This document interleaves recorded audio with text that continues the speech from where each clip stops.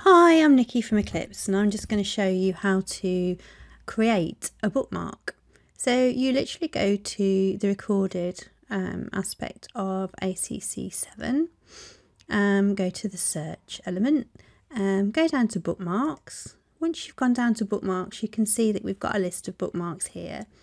But in order to get one over um, into the list, you need to go down to the timeline down here and right click on your mouse and add bookmark. I'm going to call mine test bookmark so you'll be able to see it appear in the list.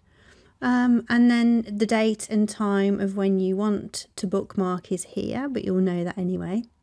And then you can protect your bookmark um, this um, actually protects your bookmark from being deleted.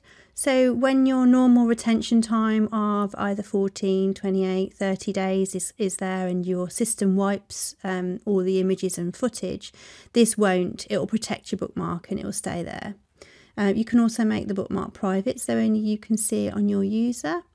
Uh, and then we just make sure that we're on the right camera um, and press OK and then you've got a test bookmark up here that is is just here. You can see that.